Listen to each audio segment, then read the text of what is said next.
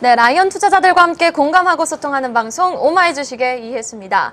저희 방송은 여러분들의 참여로 이루어지고 있는 방송입니다. 참여하실 수 있는 방법 알려드릴게요. 어, 유튜브 검색창에 한국경제TV를 입력하시면 라이브 방이 두 개가 나옵니다. 그 중에서 하나는 어, 본방송 실시간용 라이브 방송이고요. 또 하나는 오마이 주식용 라이브 방송입니다. 그 중에서 오마이 주식 라이브 방으로 들어오시면 되고요. 또 페이스북 검색창에 한국경제TV 오마이 주식을 한꺼번에 입력하시면 종목 상담방, 채팅방에 들어오실 수 있습니다. 어, 들어오셔서 여러분들 종목에 관한 질문들 또 시장에 관한 궁금한 점들 올려주시면 전문가님과 상담 도와드리고 있으니까요. 여러분들의 많은 참여 기다리고 있겠습니다. 자, 10월의 첫 거래일, 4분기의 첫 거래일이 마감이 됐습니다. 오늘 함께 하실 분 소개해 드릴게요. 오늘 디스트리트 문호준 팀장님과 함께 합니다. 어서 오세요. 네, 안녕하십니까. 네, 오늘 미 증시 강세에 힘입어서 어, 코스피 지수 2,350선에 안착하나 싶었는데 외국인이 장중에 매도로 전환을 하면서 네. 기관과 외국인 양 매도에 힘, 양 매도에 밀리면서 오늘 양 시장 하락 마감을 했습니다. 또 미국과 캐나다 무역 협상 타결 소식이 들려왔음에도 불구하고 우리 증시 그렇게 힘을 내지는 못했어요. 네. 오늘 시장 어떻게 보십니까? 뭐 오늘 시장 방금 잘 말씀해 주신 것 같고요. 네, 긴 연휴 끝에 시장에 대한 반등을 기대하신 분들이 많을 텐데 아쉽게도 10월 첫날부터 마이너스가 나면서 어, 좋게 시작하지는 않았습니다만은 어, 일단 뭐 외국인과 기관의 양 매도 영향이 어, 큰 그런 좀 조정을 일으켰고 근데 이런 게 그 계속적으로 이어지지는 않을 것 같습니다. 그래서 뭐 일단은 첫날에 대해서 마이너스가 난 건 아쉽지만 어, 조만간 좀 반등을 기대해 볼 수 있지 않을까 생각이 되고 있습니다. 네, 알겠습니다. 자, 그러면 최근 시장 흐름 분석도 좀 네. 부탁드릴게요. 어 일단은 지난 주가 아니죠 지지난 주네요 네, 벌써 지난 주에 연휴 전이었죠. 연휴이기 때문에 네. 어 그때 제가 드렸던 말씀이 있죠 어, 철도 그 남북 경협주 관련돼서 어, 모두가 알고 있는 호재는 호재가 아니다라는 이런 말씀을 드렸었는데요 그 마침 그 다음 날 좀 철도주들이 크게 빠지는 모습을 보였었습니다 그래서 제가 어, 월요일에도 어, 이런 조정이 나올 수 있으니 어, 섣불리 투자는 어렵겠지만 주- 오히려 중장기적 관점에서 철도주들을 하락시 담아가는 전략은 괜찮겠습니다라고 말씀을 드렸죠. 그래서 그 지지난주 월요일 이후에는 철도주들이 빠지다가 오늘 좀 강하게 올라주는 그런 모습을 보였었고요. 특히나 지난 지지난주 월요일에 제가 top pick 종목으로 말씀드렸던 게 어, 푸른 기술이 그 후에 15% 가량 올랐고 어, 비츠로시스는 17% 가량 올랐었습니다. 하지만 그 이후로 좀 조정을 받는 모습을 보여주고 있고요. 그리고 제가 말씀 top pick 종목으로 말씀드렸는데 오르지 못했던 게 푸른 기술은 올랐다가 내려왔고요. 어, 현대로템이 좀 못 올랐고 특수건설이 좀 많이 빠졌고요. 그리고 해지 역할로 예, 말씀드렸던 LIG 넥스원 같은 경우가 어, 말씀드리고 바로 크게 빠졌다가 최근 들어 다시 회복하는 모습을 보이고 있는데 어, 여전히 이 관점 투자 관점은 유지할 수가 있을 것 같습니다. 철도주 관련돼서는 오히려 우리가 기대하던 호재가 발생하고 나서 매물이 나왔지만 앞으로는 좀 안정적으로 올라갈 가능성이 높아서 탑픽 종목에 대한 관심이 유지할 수 있을 것 같고요. 또 해지 역할로 방산주들을 어, 조금씩 담아가는 것도 어, 괜찮을 것 같습니다.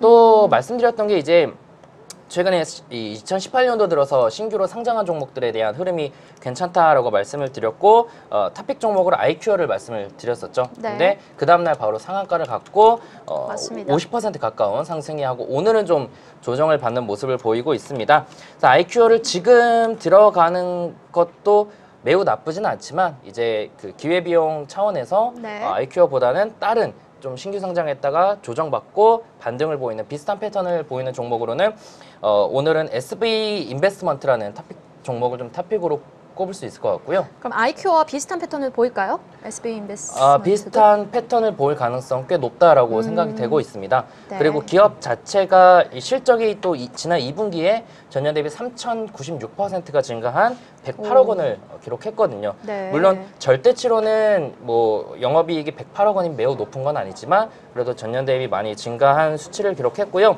또 창업 투자사들의 특정 특성상 올라갈 때 무섭게 올라가는 특징이 있어서 동사 네. 같은 경우도 그런 부분들을 기대할 수 있을 것 같고요. 음. 또 하나 지난 2주간 어, 특별했던 이슈라면은 드디어 이제 인터넷 은행 관련된 특례법이 통과했죠. 그래서 음. 관련돼 가지고 어, IT 쪽에서 인터파크 같은 종목들을 탑픽 종목으로 좀 뽑- 꼽을 수 있을 것 같고 인터파크는 지난번에도 이 인터넷 은행 진출을 시도했다가 어, 진출하지 못했었던 음. 그런 경험이 있죠. 이번에는 좀 확실하게 어, 인터넷 은행 그, 그 이제 진출하겠다 뭐 이렇게 강하게 나오고 있기 때문에 관련돼서 인터파크에 대한 관심도 한번 가져볼 수가 있을 것 같습니다. 네, 알겠습니다. 조정을 마치고 반등에 나선 철도주들 그리고 올해 신규 상장된 종목들 또 인터넷 전문은행 특례법 관련한 수혜주를 최근 시장 트렌드로 꼽아주셨습니다. 자, 4분기의 첫 거래일 월요일입니다. 오늘 문호준 전문가와 함께하고 있는 오마이 주식 공감 토크로 시작해보죠. 토크 주제부터 화면으로 만나보시죠. 네, 중국 국경절 기대감 수혜주는 이라는 주제로 얘기 나눠보겠습니다. 자, 오늘부터 7일까지 이어지는 국경절 중국 최대의 황금 연휴로 꼽히고 있습니다. 어, 중국 국경절 연휴를 맞아 오늘 관련주들 뭐 황자, 화장품 주다, 주들이라든지 면세점주들, 유통주들이 강세를 보였는데요. 자, 폭넓은 시각으로 이번 국경절 연휴 수혜주에 대해 알아보는 시간 갖도록 하겠습니다. 자, 이번 연휴를 맞아서 전문가님이 바라보시는 수혜주 어떤 종목들 있을까요?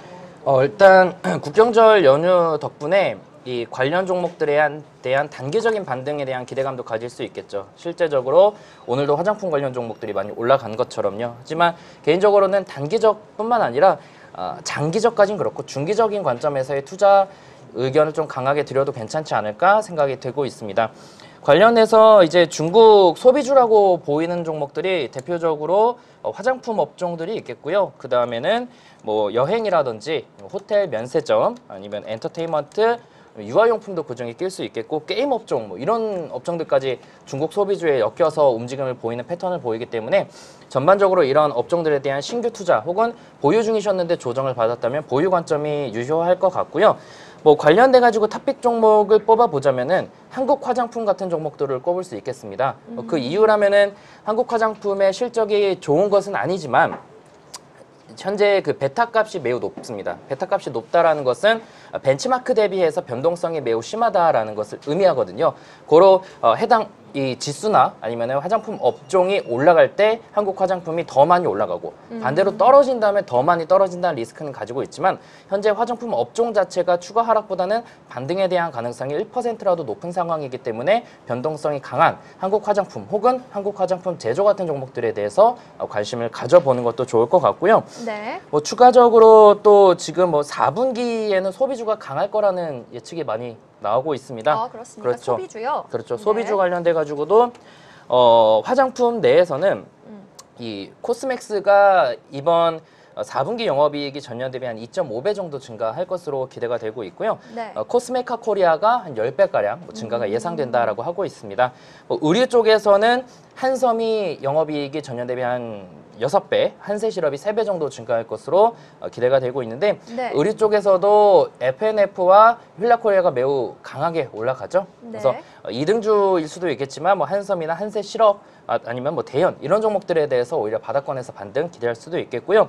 호텔 면세점 쪽에서는 호텔 신라가 전년 동기 대비 3.5배 영업이익이 또 증가할 것으로 기대되고 네. 또 외식업 외, 외식업 중에서 디딤이라고 뭐 연안식당 마포갈매기 이런 식당 다 가보셨 운영하는 네, 그렇죠. 가봤죠. 연안식당도 가보셨어요? 연안식당 처음 들어보는 것 같은데요. 연안식당도 여의도 증권가에 생겼는데 네. 어 굉장히 맛있더라고요. 아, 뭐 그렇습니까? 꼬막 비빔밥 이런 거 음. 판매하는데 뭐 굉장히 맛있고 아무튼 그쪽 관련돼서 뭐 영업이익이 어, 전년 대비 한 4배 정도 증가할 음. 거라고 뭐 기대가 된다라고 하니까 관심 한번 가져볼 수 있을 것 지금 이 같습니다. 업종 내에서 top pick을 꼽아주신 건가요? 지금 이제 화장품 업종 내에서는 코스메카 코리아, 또 의류 업종 내에서는 한섬 뭐 이런 업- 종목들을 top pick으로 꼽아주신 건가요? 어, 사실 top pick이라고 볼 수도 있지만 네. 이제 제가 top pick입니다라고 말씀드리는 건 약간 종목 추천의 의미가 있고요. 네. 방금 말씀드린 거는 사실 종목 추천의 의미보다는 영업이익 개선폭이 전년 대비 음, 큰 종목들 리스트라고 보실 단순히 이제 수가 수치로만 수치로만 봤다고 볼 수가 있겠습니다. 네, 알겠습니다. 자, 4분기는 소비주가 강할 것이다 라는 말씀까지 들어봤고요. 자, 본격적으로 종목 상담 시작해 보도록 하겠습니다. 오늘은 유튜브에서 첫 종목 확인해 보도록 할게요. 자, 일단은 음, 질문이 들어왔어요. 자, 오늘 조금 그동안 잘 올라왔던 통신업종이라든지 뭐 보험업종 그리고 제약업종들이 어, 잘 갔던 날들에 비해서 상대적으로 조금 부진했던 날이었던 것 같은데 네. 일단 갖고 계셨 갖고 계신 분들이 좀 걱정이 많으셨던 하루였을 것 같아요. 그래서 질문이 올라왔어요. 음, 오늘 전반적으로 제약바이오 시세는 좀 안 좋았던 것 같은데 음, 네. 이- 이제 벌써 끝물인 건가요? 추석 이후로 계속 빠져서 걱정이 되네요 라는 질문이 올라왔는데요. 여기에다가 녹십자 시리즈는 잘 가는 것 같은데 유독 녹십자 홀딩스는 왜 지지부진할까요? 라는 질문이 연이어서 올라왔습니다. 자 관련해서 답변 주실 수 있으실까요? 네, 일단 그 시장이 아직까지 매우 좋다라고 평가 내리기는 어렵습니다. 좋은 네. 시장이라면은 뭐 1등하는 업종, 2등하는 업종, 혹은 상위권에 있는 주도 업종들의 강세가 이어지겠는데 지금은 그렇지 않다 보니까 이 하나의 업종이 올라가면 다른 업종들은 좀 부진한 시장의 흐름이 이어지고 특히나 요- 오늘처럼 시장에 조정이 강하게 나왔을 때는 네. 그런 흐름들이 강하게 나오거든요.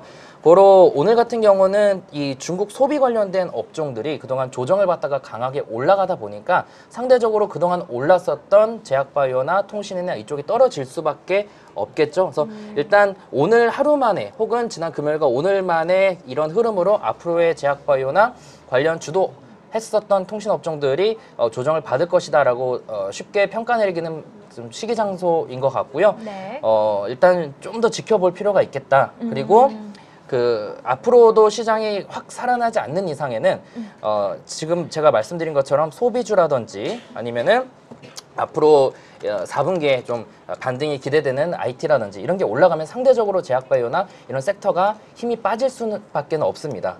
그래서 어, 전반적인 제약바이오나 통신이나 그동안 시장을 이끌었던 업종들이 그동안처럼 상승이 이어질 거라는 가능성은 좀 줄어들었다라고 생각을 하고 대응을 하면 좋을 것 같고요. 물론 전체 업종이 빠지지 않겠죠. 그 그렇죠. 중에서 괜찮은 종목들에 대한 서는 상승이 이어질 수 있겠다 아, 생각이 되고 있고요.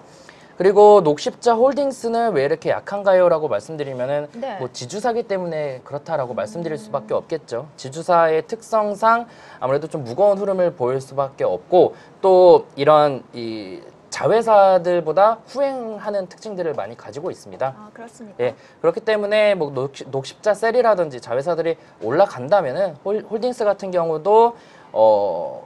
이, 뒤따라서라도 올라갈 가능성은 높거든요. 음. 오늘 같은 경우도 사실 아랫꼬리를 길게 달았고 마감은 또 아랫꼬리를 그 그러니까 줄이면서 마감됐기 때문에 뭐 크게 걱정할 필요는 없을 것 같다. 그럼 오히려 지금이 저가 매수의 기회라고 볼 수도 있을까요? 근데 이제 앞서 말씀드린 것처럼 만약에 제약바이오가 그동안 올라간 것 때문에 조정을 받는다 네. 라면은 오히려 이게 저가가 아닐 수도 있겠죠. 어, 음. 그렇지만 이제 뭐 만약에 떨어진다면은 다른 종목들보다 좀 덜 떨어질 수 있겠죠. 음. 그런 측면에서 제약 바이오 쪽에 투자하고 녹십자 전반적인 계열사들에 대해서 좋게 본다면은 홀딩스를 오히려 접근하는 게 리스크 측면에서는 더 안전할 음. 것 같습니다. 알겠습니다. 녹십자 홀딩스 뭐 리스크 측면에서는 현재 접근해 보는 게 나쁘진 않을 것 같다라는 말씀까지 전해주셨고요. 또 제약바이오 업종 어, 현재 하루 이틀 빠진 걸로는 시세가 어, 끝이라고는 보기 어렵겠다라는 말씀까지 전해주셨습니다. 자 다음 종목 확인해 보도록 하죠. 음, JJ리님의 종목입니다. 삼성전기 물어봐 주셨어요. 네. 자, MLCC 업황이 좋다는데 왜 이렇게 떨어질까요? 라고 질문을 주셨어요. 일단은 매수가는 16만 3천 원이라고 하십니다. 자, 삼성전기 확인해 보니까요. 무려 이거 몇 거래일입니까? 어, 7거래일 연속 하락을 했어요. 음, 오늘도 네. 0.7% 하락 마감을 했는데 외국인이 연일 매물을 내놓고 있는 모습이에요. 자, 업황은 좋다는 분석이 계속해서 나오고 있는데 이렇게 지금 주가가 빠지면은 저가 매수의 기회라고 볼 수 있는 건가요? 아니면 지금 조금 매수를 조금 늦춰야 되는 건가요? 조금 관망을 해봐야 되는 건가요? 어떻게 어, 보십니까? 이제 투자자 여러분들이 가장 황당하게 느낄 때가 뭐냐면 업황도 좋고 실적도 좋은데 주가가 떨어질 때죠. 맞습니다. 거의 대부분 그런 종목들은 이미 선반영된 경우가 많습니다. 삼성전기 같은 경우는 좀 아쉽게도 주가가 어, 연초 10만 원대에서 16만 원 이상까지 이런 크게가 큰 기업이 올라갔기 때문에 MLCC 업황에 대한 기대감 또는 펀더멘탈에 대한 기대감이 좀 반영이 됐고 또 최근에 16만 원대가 이제 그 쌍봉이라고 하죠. 그래서 정고점 위치였기 때문에 거기서 매물이 출회되면서 좀 조정을 받은 것 같습니다.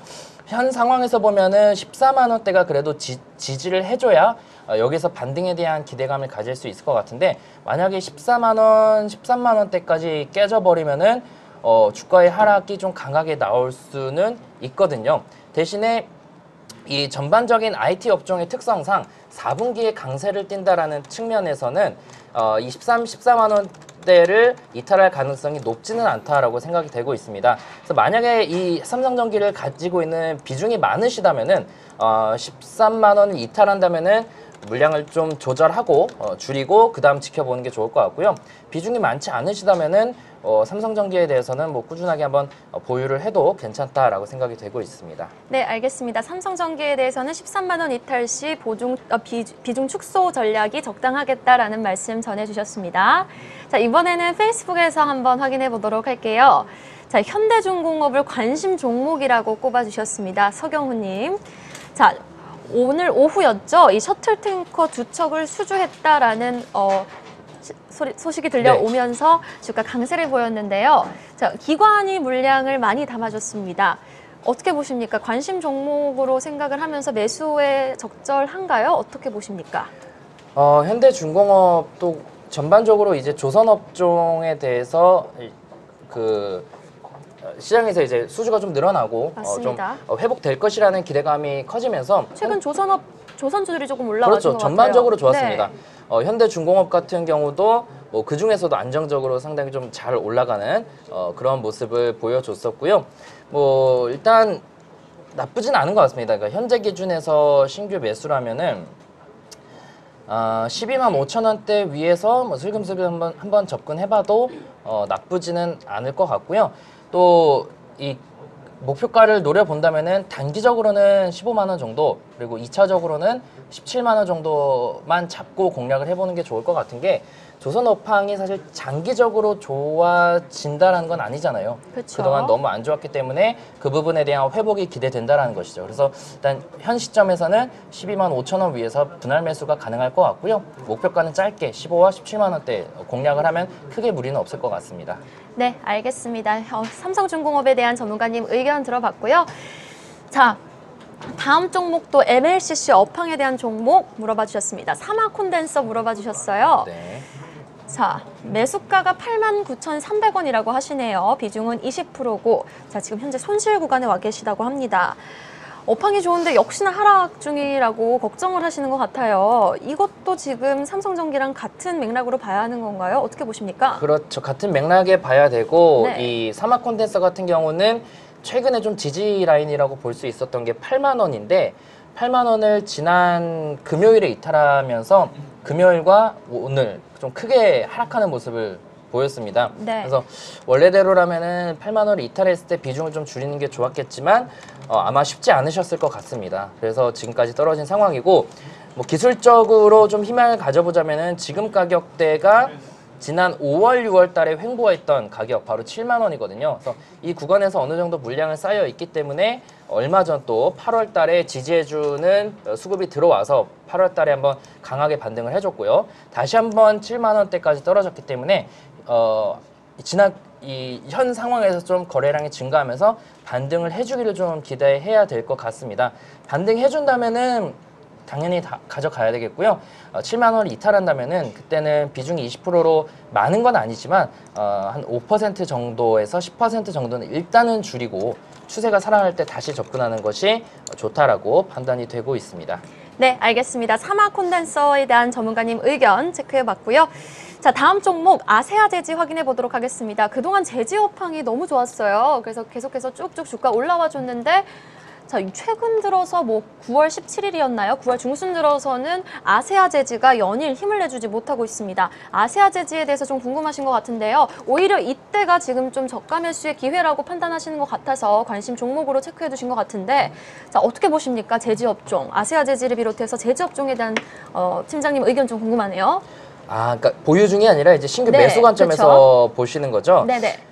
어, 아세아 제지도 사실 이 최근에 좀 고점을 찍었습니다. 맞습니다. 그러니까 어, 이게 이제 저번에 잠깐 말씀드렸지만 로그 차트라는 것을 활용해서 보면은 고점에 대해서 어느 정도 어, 유추할 수가 있거든요. 물론 100%는 아니지만 그래도 어, 어느 정도 좀 볼 수는 있는데 그 어느 최근에 이제 5만 2천 원 구간을 찍고 조정을 받고 제지 업종에 대해서는 좋겠죠. 특히나 이제 뭐 온라인 택배 물량 증가라든지 그러면서 관련 매출이 증가할 것은 어, 기대가 큰 부분인데 어, 그게 이제 선반영되면서 올랐다가 조정을 받고 있는 상황이라 뭐 신규 접근으로는 나쁘지 않다라고 보이고 있습니다. 그래서 신규 접근해 보신다면은 어, 맥시멈으로 잡고 좀 보수적으로 들어가는 게 좋을 것 같아요. 어, 이제 121선이 3만 5천 원 구간이니까 3만 5천 원까지 떨어진다라는 가정하에 접근하는 게 좋을 것 같고요.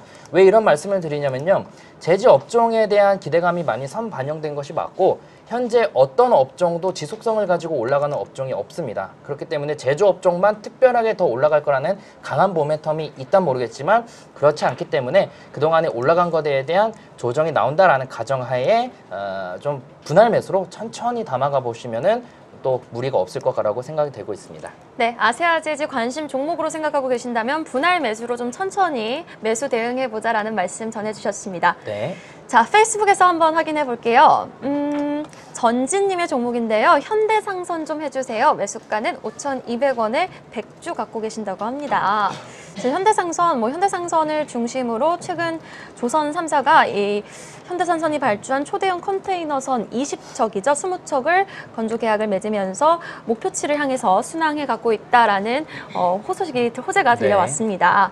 자, 현대상선 근데 오늘은 2% 넘게 하락을 했어요. 어떻게 보십니까, 현대상선? 어, 일단은 일단 지금 손해를 보고 계십니다. 네, 얼마라고 하셨죠? 5,200원에 매수를 하셨죠. 5,200원이면은 큰 손해는 아니신 것 같습니다. 네. 어, 그리고 현대상선의 경우에는 그타 조선 업종 대비해서는 리스크는 좀 적다라고 봐야 되겠죠. 그동안 그렇죠. 올라간 게 없기 때문에 또 장기적으로 보더라도 월봉으로 보더라도 지금 계속 하락하고 있고 바닥을 잘 다져가고 있는 상황이기 때문에 동사에 대해서는 손실 중이라 그래서 매도할 필요는 크게 없다라고 생각이 되고 있거든요. 그래서 일단 현대산성은 어, 보유 관점에서 어, 계속적으로 보시면 괜찮을 것 같습니다.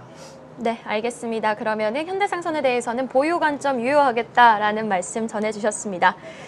자, 음, 제약바이오주 한 종목 더 확인해 보도록 네. 할까요? 차바이오텍 물어봐 주셨어요. JYK님의 종목인데요. 매수가가 26,400원에 비중은 무려 80%, 80%라고 하십니다. 자, 음. 어떻게 대응해야 할지 모르겠습니다. 알려주세요. 라고 질문을 해주셨어요. 자, 차바이오텍을 비롯해서 뭐 시총, 코스닥 시총 큰 종목들 어떻게 대응해 보는 게 좋을까요? 지금 이 시점에서. 2만 6천 400원이라고 하십니다. 26,400원이요. 네. 아, 뭐 역시나 손실이 크지는 않습니다. 비중은 크지만 네. 어, 다행인 것 같고요. 제약바이오 오히려 그런 시점이 좀 어려운 것 같아요, 더. 그렇죠. 애매한 네. 시점이죠. 어, 차라리 확 올라 있거나 확 떨어져 그쵸. 있으면 괜찮은데 근데 차바이오텍 같은 경우도 뭐 나쁘진 않은 것 같습니다. 지난 어, 8월 달부터 상승이 시작돼서 12,500원대에서 최근 27,500원대로 어, 100% 이상 올라간 매물이 지금 좀 나오고 있다라고 보여지고 있고요.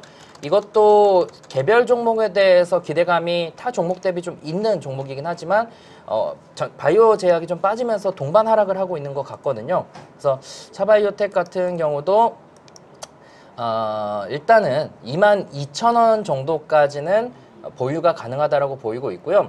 근데 비중 80%는 너무 많습니다. 그래서 일단 단기적으로 다시 매수하신 가격대까지 오르면은 비중을 좀 줄인 다음에 그 다음에는 손절가는 22,000원으로 잡고 일단 단기적으로 좀 대응해 보시면 좋을 것 같습니다. 네, 알겠습니다. 손절가 22,000원으로 잡고 어, 좀 대응해 보는 게 좋겠다. 리스크 관리 들어가 보는 게 좋겠다라는 말씀 해주셨습니다. 자, 종목은 차 바이오텍까지 확인해 봤고요. 자, 그러면은 마무리 한번 해보도록 하겠습니다. 자, 미국 캐나다 무역 협상이 타결이 되면서 뭐 멕시코에 이어서 북미 지역 관련해서 뭐 무역 분쟁 이슈는 완화되는 모습이고요. 중국은 국경절에 들어갔고 또 우리 시장은 4분기 실적 시즌을 앞두고 있습니다. 자, 네. 최근 시장 어떻게 대응해 보는 게 좋을까요? 어, 일단 우리 시장에도 긍정적인 모멘텀들이 많이 나오는 거는 다행이라고 생각이 되고 있습니다. 어, 그동안 좀 추석 전에는 어려운 장세가 연출이 됐었고 네. 제약바이오를 비롯한 어, 코스닥이 좀 강하게 올라가는 시장이 잠깐 연출되긴 했지만 그것도 지속성이 없었죠. 하지만 연말까지는 어, 어느 정도 그동안의 조정을 보였던 것들에 대한 반등을 기대할 수 있, 있을 것 같고요. 아까도 잠깐 말씀드린 대로 소비주에 대한 기대감을 좀 더 가지고 어, 추가적으로 그동안 낙폭이 컸었던 IT 업종들에 대한 에, 기대감을 점점 더 키워가도 무리는 없을 것 같습니다. 아까 뭐 MLCC 관련된 종목들은 사실 워낙에 많이 올랐기 때문에 조정을 받았던 거였고요. 네. 다른 업, IT 업종, 하드웨어 쪽에서는 오른 것도 없는데 떨어진 종목들이 많거든요. 그래서 그런 종목들에 대한 반등이 매년 연말에 나왔었습니다. 그래서 이 화면을 잠깐 어, 볼 수 있는지 모르겠지만 지난번에도 제가 잠깐 보여드리긴 했지만 삼성전자의 seasonal 차트와 실적이라는 부분에 대해서 잠깐 말씀을 드렸었거든요. 네네. 그게 뭐였냐면 어, 삼성전자 같은 경우도 매년 2분기와 4분기 영업이익이 전분기 대비 크게 증가합니다. 그러다 보니까 이 차트가 매년 2분기와 4분기에 많이 올라가고요. 삼성전자를 비롯해서 SK 하이닉스부터 대부분의 IT 업종들의 흐름이 이렇습니다. 어, 그래서 이 연말까지는 아, 그동안 조정폭이 컸던 IT 그리고 어, 소비주 어, 섹터 중에서 어, 잘 공략을 하신다면은 충분히 좋은 성과가 있을 것 같고요. 코스피와 코스닥 같은 경우는 음, 어느 정도 조정이 나온다 하더라도 코스피는 2,300 그리고 코스닥은 800포인트만 지지한다면은 어, 충분히 반등을 기대할 수 있을 것 같으니까 이 부분만 잘 참고해서 대응을 해보시기 바라겠습니다. 네, 그러면 코스피는 지지선이 2,300포인트 그리고 코스닥은 800포인트 지지선을 좀 확인해 보고 반등 여부를 체크해 볼 필요가 있겠다라는 말씀까지 들어봤습니다. 네, 지금까지 디스트레이트 문호준 저- 팀장님이었습니다. 오늘 말씀 고맙습니다. 네, 감사합니다.